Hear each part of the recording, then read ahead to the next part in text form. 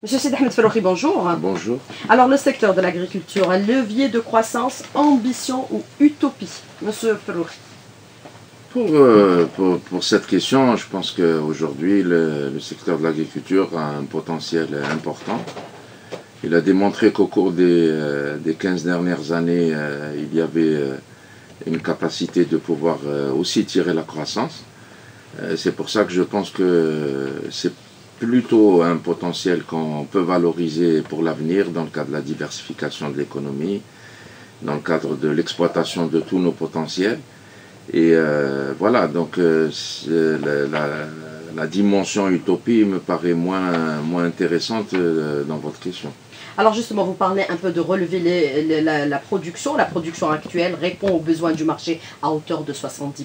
Autre chiffre, M. Fallouri, l'agriculture c'est 10% du PIB. Mais comment augmenter aujourd'hui les rendements pour relever le défi de l'autosuffisance alimentaire?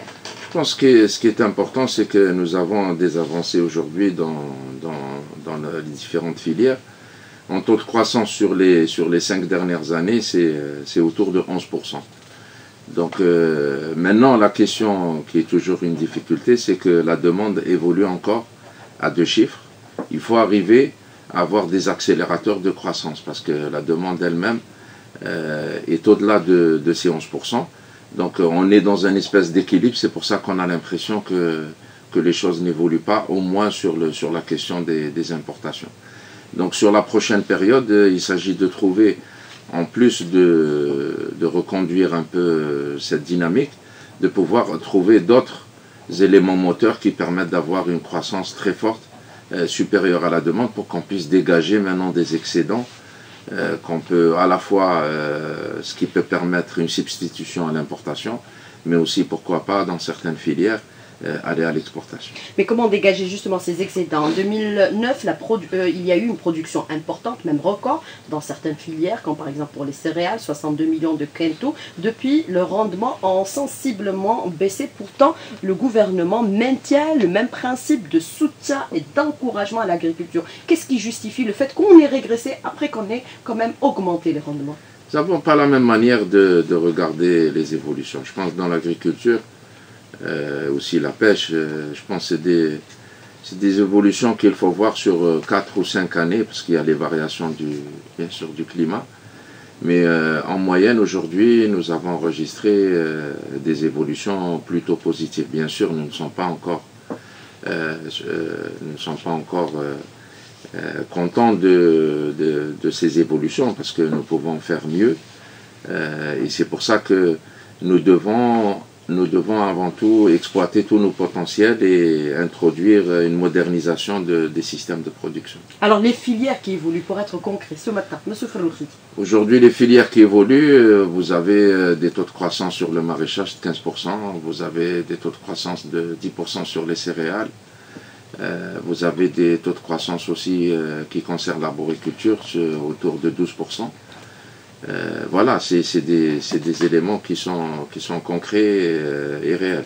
Alors 10% de croissance sur les céréales, pourtant nous importons pratiquement 50% de nos besoins. Comment l'expliquer? L'expliquer parce que la demande, elle, continue à augmenter à deux chiffres et qu'elle est elle-même euh, sous-tendue bien sûr par l'amélioration du pouvoir d'achat, l'amélioration des revenus des ménages et euh, aussi parfois quand il y a des subventions, ça, ça permet d'augmenter euh, aussi le, la demande. Alors justement, cette question de, subvention, est-ce que c'est devenu aujourd'hui un frein à la croissance C'est pas complètement un frein à la croissance, mais c'est un élément qu'il faut prendre en compte pour le développement, euh, le développement agricole, euh, notamment en ce qui concerne les produits qui aujourd'hui euh, font, font le gros de la structure des importations. il faut travailler pour essayer de justement faire de la substitution d'importation donc euh, notamment dans les domaines des céréales, dans les domaines du lait, dans le domaine de la viande, essentiellement bovine. Et c'est ce que nous nous évertuons à faire dans, dans le, ce, nouveau programme quinquennal. Mais justement, pour substituer, à l'importation, qu'est-ce qu'il faut faire concrètement aujourd'hui pour augmenter nos rendements dans ces filières qui nous reviennent quand même quand même excessivement cher vu le contexte économique actuel où nous sommes toujours dépendants des hydrocarbures. Concrètement, il faut, euh, améliorer euh, la productivité, il faut, une espèce de choc d'efficacité. On a des systèmes de production qui sont aujourd'hui, en tout cas si on prend l'exemple des, céréales, on a à peu près sur 3 millions d'hectares qu'on exploite, on a 1 million d'eux qui sont des terres à haut potentiel. C'est là où il faut concentrer le travail, c'est là où il faut euh, améliorer les conditions, les euh, itinéraires techniques, euh, pour faire en sorte qu'on puisse atteindre dans, cette, dans cet espace des rendements appréciables. Alors il y a une question sur les céréales qui est très, importante, mais qui en fait concerne toutes les filières, c'est la question de l'eau. l'eau, les, les, derniers calculs que nous avons faits, c'est à peu près 70% de la croissance. Donc il faut arriver à dans certains cas faire de l'irrigation d'appoint, parce que c'est un élément important de stabilisation des rendements et de concrétisation de l'effort qui est fait pendant toute l'année. Donc, et dans d'autres cas, c'est un élément, c'est un accélérateur très important. Aujourd'hui, euh, au gouvernement, nous essayons euh, sur cette question d'avancer. Il y aura, certainement beaucoup d'efforts qui seront faits euh, dans les prochaines années autour de cette question, puisque le programme de son Excellence, Monsieur le Président de la République, prévoit déjà que nous puissions augmenter les superficies irriguées d'un million d'hectares d'ici 2019. Mais est-ce qu'il y a d'autres dispositions qui ont été adoptées par le gouvernement pour encourager certaines filières à la faveur, bien sûr, du Conseil des ministres qui s'est tenu il y a deux jours aujourd'hui, euh, M. Fallouri Bien sûr, la loi de finances 2016 est elle-même un prolongement de, ce qui s'est fait dans la loi de finances 2015 et celle complémentaire de 2015. Donc c'est à travers les lois de finances que euh, nous mettons en place le programme quinquennal. Donc euh, sur les investissements agricoles et sur l'accompagnement des, investissements, euh, la loi de finances aussi prévoit des mesures d'encouragement à travers les, les comptes d'affectation spéciale. Donc on a mis à notre disposition une ressource pour pouvoir accompagner l'investissement privé. Vous me posez la question, quel est l'autre accélérateur? C'est certainement aussi l'investissement privé. Il faut chercher dans les cinq prochaines années euh, et faciliter, euh, simplifier euh, et faire en sorte que le secteur devienne attractif pour un investissement privé intégré et qui lui devient pratiquement le, le principal carburant de, de la croissance euh, agricole. Alors justement, vous parlez d'un fonds d'affectation qui a été euh, mis à la disposition du secteur de l'agriculture à la faveur du Conseil des ministres, mais est-ce qu'il y a d'autres mesures également qui vont accompagner aujourd'hui les agriculteurs et les producteurs, Monsieur Ferroufri Je pense que... Dans le concret. C'est concret, parce que l'argent, c'est quelque chose de très concret. Surtout en ces temps. Voilà. Mais euh, il y a certainement d'autres mesures qui sont importantes et qui, euh, qui concerne avant tout cette volonté de, cette volonté de, faire en sorte que les, euh, les producteurs travaillent dans, dans, un cadre intégré, qu'on puisse faire en sorte qu'ils ils fédèrent leurs efforts dans les différentes filières et qu'on intègre la production, parce qu'aujourd'hui, les consommateurs consomment des produits qui sont quasiment transformés. S'ils ne sont pas transformés, ils sont au moins ils sont passés par des phases de logistique, de froid, de, euh, choses comme ça. Donc, euh, ce qui fait que nous ne pouvons plus, si nous voulons, bien sûr, que substituer à l'importation et faire en sorte de dégager aussi des excédents, nous devons travailler sur des segments de filières entiers pour faire en sorte que tout cet effort ne se perde pas, soit à travers euh, le gaspillage, soit à travers le, le fait qu'on perde des, produits euh, en cours de route. Mais puisqu'on parle du contexte économique actuel, est-ce qu'on peut considérer que la question des subventions des produits euh, agricoles pourrait graduellement être révisée par les pouvoirs publics ou alors c'est une question qui dans l'immédiat est totalement exclue? Non, Je pense que nous, nous travaillons bien sûr dans le cadre d'un programme du gouvernement. Les choses sont bien claires sur cette question. Euh, je pense qu'en dehors de cette question, on a beaucoup de marge pour pouvoir euh, aujourd'hui développer, euh, développer les filières agricoles. Mais est-ce que cette question pourrait être révisée ou elle n'est pas du tout à l'ordre du jour pour le moment, Monsieur Elle n'est pas à l'ordre du jour. Alors comment organiser parallèlement euh, les filières Puisque vous avez rencontré tous les professionnels euh, de la filière lait et il y a eu certains euh, engagements qui auraient été pris par vous pour pouvoir venir en aide à cette filière qui risquerait peut-être de disparaître par rapport au prix du lait. Que cette filière, cette filière a connu deux, deux grandes phases pour, pour, que nos auditeurs puissent comprendre. Euh, elle a connu cette phase de reprise depuis, euh, depuis 2009 avec euh, bien sûr une collecte qui a augmenté crescendo, elle est passée pratiquement à la triplée en, 7 ans. mais elle a connu au cours des deux dernières années des difficultés importantes dues à la fois à la sécheresse, donc là les éleveurs qui euh, utilisent les ressources fourragères, il faut compter dans un litre de lait, 80% c'est de l'aliment, hein, entre 80 et 90% euh, le coût du lait est lié au coût de l'aliment. Donc euh, il y a eu aussi la fièvre afteuse. La fièvre afteuse a été un élément aussi euh, qui a fortement impacté économiquement aussi le cheptel et faisait que les gens n'avaient pas de trésorerie pour pouvoir, pour pouvoir acheter leur aliment ces derniers mois. Donc ce qui fait qu'aujourd'hui nous avons relativement une situation assez difficile pour les éleveurs. Il y a eu beaucoup d'évolutions aussi des cheptels, donc à travers l'implémentation de, de cheptels importés. Donc là aussi, euh, ce que nous avons essayé de rechercher avec les uns et les autres, c'est de nouvelles situations d'équilibre, mais en même temps, essayer de construire un nouvel avenir pour cette filière, donc euh, qui intègre à la fois des ambitions de substitution à l'importation, une réduction aussi euh, du recours à la poudre de lait, un développement du lait cru dans différents, sous ces différents produits. Donc là, il y, a, il y a un travail que nous sommes en train de faire, je pense que nous pourrons Aujourd'hui, on a beaucoup de pistes intéressantes, beaucoup d'expériences intéressantes qui se sont faites euh, par euh, les opérateurs privés eux-mêmes. Nous essaierons d'avoir une stratégie qui correspond à ce réel. Vous allez les rencontrer une nouvelle fois prochainement? Euh, logiquement, nous avons terminé les, rencontres. Aujourd'hui, nous sommes en train de rédiger les propositions. Alors justement, eux, euh, vous parlez d'une nouvelle situation d'équilibre, mais les, éleveurs euh, considèrent qu'ils sont en train de vendre à perte. le prix actuel est à 40 dinars le litre.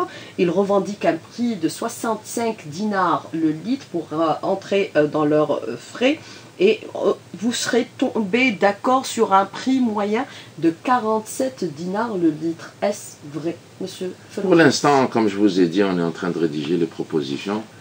Euh, dès que nous aurons, nous aurons trouvé les convergences, parce qu'il faut trouver des convergences autour duquel on peut créer un consensus et aussi un avenir pour, pour cette filière. Alors, les céréales pour cette année, est-ce que nous allons importer les mêmes quantités avec autant de dépenses? Les céréales, euh, je pense qu'il y a deux aspects. Ce que nous préparons dans la campagne.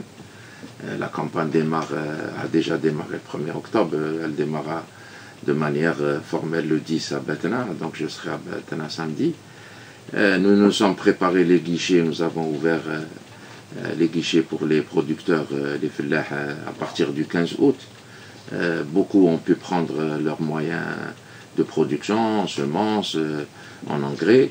Euh, nous avons mobilisé aujourd'hui euh, tout le parc matériel euh, privé, mais aussi des CCLS, qui est important aujourd'hui, les efforts qui ont été faits. Nous avons plus de 1000 semoirs dans les différentes unités CCLS et plus de 300 tracteurs. Tous ces moyens n'existaient pas il y a quelques années. Nous sommes en train de mobiliser aussi l'irrigation d'appoint. Nous avons aujourd'hui les moyens de, de, le faire sur le terrain. Il y a une coordination à faire avec les ministères des Ressources en eau. Donc voilà, nous sommes, nous sommes mobilisés pour que nous puissions, Inch'Allah, faire une très belle campagne cette année.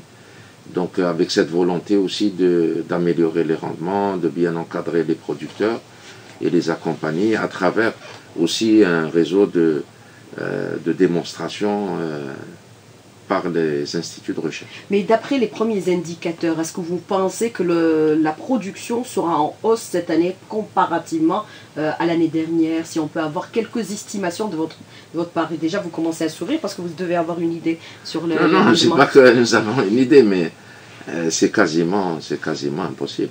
Euh, si nous avions des céréales, les 3 millions d'hectares menés en irrigation complète je pourrais euh, tout de suite vous dire, euh, euh, les, prévisions. Mais quand vous avez seulement 150 000 hectares ou 200 000 hectares qui sont en irrigation d'appoint, ce qui est une part encore faible et nous voulons l'augmenter de manière très résolue. Donc voilà, tout va se jouer jusqu'à la dernière minute, ça veut dire. bien sûr, nous ferons au fur et à mesure de l'évolution de la campagne nous ferons le point et nous essaierons d'avoir des, des, prévisions Mais euh, voilà, c'est toujours, euh, c'est toujours une activité qui est soumise aux aléas climatiques. Nous avons eu en plus une année euh, faible en pluviométrie l'année dernière, relativement sèche, donc ça pourrait avoir peut-être une incidence négative sur les rendements. Je pense qu'aujourd'hui, si nous avons des pluies qui s'annoncent, j'espère qu'elles continueront. Aujourd'hui, on nous annonce des pluies pratiquement qui sont sur l'ensemble de l'ensemble du pays. Donc nous espérons que ces, ces évolutions se feront de manière euh, continue sur les, les, prochaines semaines. Pour les légumes secs, est-ce qu'il y a une politique pour aller vers leur euh, production aujourd'hui, puisque nous en importons aussi des quantités importantes, nous restons par rapport à cette situation à l'importation dépendante de l'extérieur? Oui, il y, a une, il y, a des efforts qui sont faits pour, euh, pour qu'on puisse développer aussi cette production. Elle est d'autant plus importante que couplé ou croisé avec la céréaliculture, euh, les légumineuses, notamment les légumineuses fourragères, on parlait de la question du lait, et les légumineuses, euh, les autres types de légumineuses qu'on utilise, euh, les légumes secs, apportent aussi, améliorent les sols, elles réduisent la jachère, donc ça permet d'exploiter mieux le potentiel. Donc voilà, donc c'est quelque chose qui peut euh, qui peut aussi euh, participer à améliorer, intensifier nos, nos systèmes de production. Alors nous avons une question d'un auditeur qui nous a contacté sur notre page Facebook il y a, qui dit qu'il y a un système de fluctuation des prix sur le marché qu'on n'arrive pas aujourd'hui à maîtriser. Est-ce que c'est dû au fait à la production qui n'est pas suffisante ou c'est dû aussi au système de régulation du marché qui n'arrive pas aujourd'hui à être maîtrisé? Quel est votre commentaire justement sur cette question de cet auditeur? Ça dépend ce qu'on regarde. Aujourd'hui, pour un certain nombre de produits, nous avons, euh, nous avons des dispositifs euh, sur, par exemple, on a parlé du des céréales, du lait, euh, de la pomme de terre, donc, qui sont des éléments importants de, de la consommation. Donc nous avons aussi des, petites, des, petits systèmes, y compris pour, pour les viandes blanches, notamment pour les, les périodes de pointe. ces systèmes de, permettent de pouvoir stabiliser, euh, stabiliser euh, cet équilibre entre l'offre et la demande. Bien sûr, c'est important de comprendre et que tous les auditeurs comprennent que la régulation, la régulation se fait à la marge. Elle ne peut pas se substituer au marché. La régulation est un élément de correction, mais c'est un élément de correction qui, qui vient avant tout sur un marché qui fonctionne, qui est concurrentiel, avec euh, une bonne, euh, une bonne, un bon, de bons équilibres entre l'offre et la demande. Alors, autre dicteur qui s'inquiète, euh, il vous a entendu parler de la filière lait, il dit est-ce que le prix du lait va augmenter? Monsieur Fellouri, ou risquerait d'être augmenté? Je la pose au conditionnel. Je pense que je vous ai répondu. Pour l'instant, nous sommes en train de rédiger il veut être rassuré, Je pense. Non, qu'il soit rassuré. Non, le prix de revient, c'est-à-dire céder à, à, qu'il soit rassuré, nous ferons, nous ferons tout pour que nous ferons tout pour que les producteurs, euh, aussi les transformateurs, puissent trouver, euh, puissent trouver un équilibre dans, économique dans, leur développement. Non, ça c'est un consommateur qui pose la question par rapport au prix du lait cédé à 25 dinars le sachet. Est-ce que par rapport aux indicateurs que vous avez donnés, il risquerait d'augmenter le prix? Non, pour, pour ce, type de, ce type de lait, euh, pour l'instant, il n'y a, euh, aucune nouveauté. Il restera présent sur le marché à ce prix-là. Alors, autre question également, Monsieur Fleury, que je voulais vous poser ce matin. L'encouragement à la production agricole destinée à l'industrie de transformation. Est-ce que c'est une option aujourd'hui pour booster l'économie hors hydrocarbures? Comment, puisqu'aujourd'hui, nous considérons que le secteur de l'agriculture pourrait être un levier de croissance pour les prochaines années? Je pense qu'il faut que beaucoup comprennent qu'il n'y a plus de produits agricoles bruts. On ne consomme plus de produits agricoles. Tous les produits sont plus ou moins transformés. Bon, bien sûr, quand on utilise le terme transformé, on pense à quelque chose qui, euh, qui est broyé ou quelque chose qui est une action mécanique. Mais euh, le terme transformé aujourd'hui dans, l'économie moderne, en tout cas l'économie agricole, c'est un, un produit qui a de, au minimum euh, passe par une chaîne de froid, il est, euh, il est emballé, il est euh, manipulé. Donc il n'y a plus de vente directe du, champ vers, vers le consommateur, ça n'existe plus. Donc c'est pour ça que quand on parle d'agriculture, c'est avant tout au moins un premier niveau de transformation. C'est un segment intégré, complet. on parle de la pommes de terre industrielles, éventuellement, Bien qui sûr. seraient transformées là, on est dans en une- chips ou dans poudre. Là, on est dans on une. parle de la tomate industrielle Là, également, Monsieur on- Ferrouri. Là, on est dans un deuxième niveau, qui est un deuxième niveau de transformation. Et c'est important parce qu'il euh, il peut jouer aussi un rôle de régulation. Parce que euh, ces quantités que nous, nous mettons sous une forme concentrée ou sous, sous une forme asséchée ou sous, sous toutes les formes possibles et inimaginables peuvent être après consommées. Donc c'est un, un report de production qui peut être consommé au moment, euh, au moment voulu par le consommateur. Euh, Je vous donne un exemple euh, très précis. Quand vous faites, quand vous faites un fromage, un fromage, il y a 2 litres de lait, un camembert, il y a 2 litres de lait, de- entre 2 et 2,5 litres de lait dedans, de lait, de lait cru. Donc, quand, euh, quand vous, vous, transfor- vous transformez ce produit, vous permettez à une partie de la production d'être préservée dans un produit euh, transformé. Alors, deux petites questions. Les dernières, Monsieur Ferrouri, le CIRPALAC, système de régulation, a-t-il échoué? Faut-il l'améliorer? Est-il perfectible? Il est, le- je pense qu'il y a une confusion peut-être dans, dans la vision qu'on a de ce, sy- de ce type de système. Ce type de système est là avant tout pour corriger à la marge des, euh, des évolutions, qu'elles soient positives ou négatives. Mais il ne peut pas se substituer euh, au marché.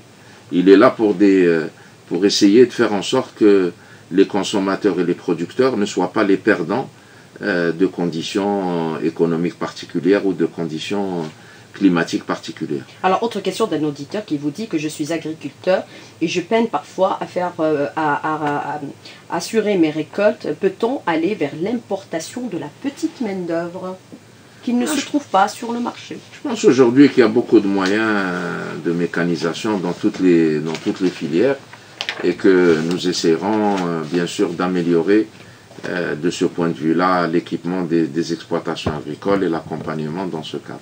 L'avenir, c'est la technologie et la science pour augmenter nos rendements. Vous y êtes convaincu C'est votre feuille de route, c'est votre vision, c'est votre objectif.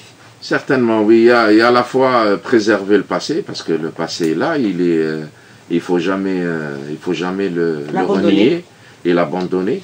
Mais en même temps aussi inscrire l'agriculture dans une, dans la modernité, dans la modernisation des, des techniques, et de faire en sorte que les investissements aujourd'hui aussi soient intégrés et permettre, euh, permettre d'arriver à des niveaux de performance. Donc c'est un double c'est un double mouvement qu'il faut faire. Il ne faut pas laisser derrière ce que, ce que nous, avons, euh, nous avons accompagné, mais en même temps être ambitieux et euh, développer, développer les différentes filières dans ce cadre. Voilà. Et à la fin, je voudrais saluer l'ensemble des agriculteurs, des éleveurs, des pêcheurs, des, des producteurs. Et je pense qu'ils ont beaucoup de mérite dans ce qu'ils font et c'est autour d'eux qu'il faut construire le, euh, la, la stratégie de développement. Et bon courage pour votre démarche également. Monsieur Ferrouri. Merci. Monsieur Ferrouri, merci d'avoir répondu à nos questions et d'avoir été en direct avec nous ce matin dans le studio. Merci beaucoup. Bonne journée, bon week-end.